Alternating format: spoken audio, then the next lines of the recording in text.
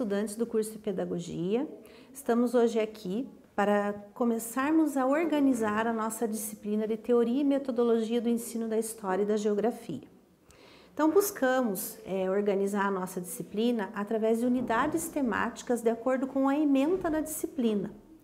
Então, dividimos em, em unidades temáticas é, que vão tratar de conceitos e fundamentos básicos da, tanto da área de conhecimento da história como da geografia. Então, vamos partir, primeiramente, da análise né, da situação do ensino de história e geografia, né, no contexto dos anos iniciais do ensino fundamental.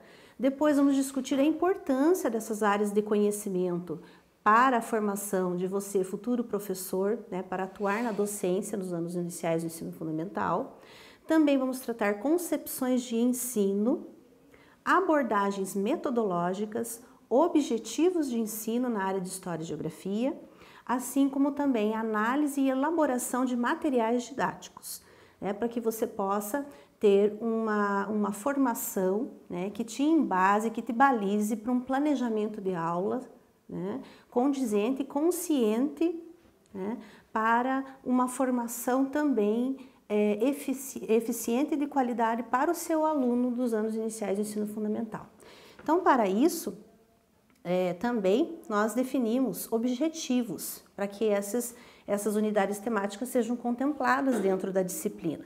Então, nós vamos discutir a função social é, da escola. É importante nós discutirmos a função social da escola, né? o que ela, é, qual a sua função dentro da sociedade política, econômica, social, cultural, né? E isso vai, vai é, delimitar né, e embasar a importância da área do, das áreas do conhecimento de história e geografia para a formação do seu aluno e para a sua formação. Porque além da sua formação profissional, nós temos que pensar na sua formação enquanto sujeito social, também atuante dentro dessa sociedade que você está inserido. Para isso, nós precisamos analisar né? A importância dessas referidas áreas, os seus objetivos, as suas abordagens, os documentos né, norteadores que vão também balizar a sua prática enquanto professor. E isso perpassa nós discutirmos conceitos fundamentais e básicos dentro da história da geografia: o espaço e o tempo, que parecem ser conceitos é, né, tão óbvios, mas que têm uma importância fundamental e que precisam ser trabalhados dentro da nossa disciplina. Além da questão da interdisciplinaridade. Por quê? Porque nós temos que pensar que é, nós temos várias disciplinas dentro dos anos iniciais do ensino fundamental.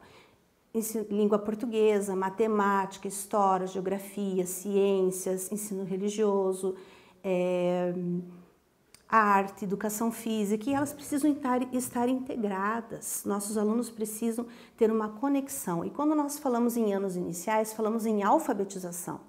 A alfabetização precisa de todas as áreas. Nós podemos partir da história, podemos partir da geografia para uma alfabetização e um letramento né, eficiente dentro dos anos iniciais do ensino fundamental.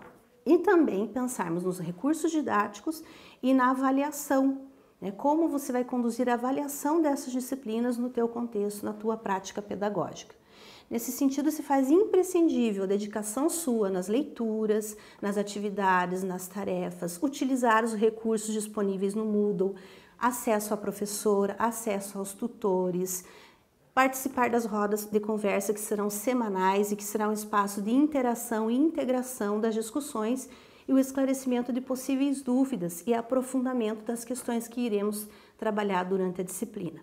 Então, com isso, espero que todos tenham um bom percurso, bons estudos. Agradeço a atenção. Muito obrigada. Até mais.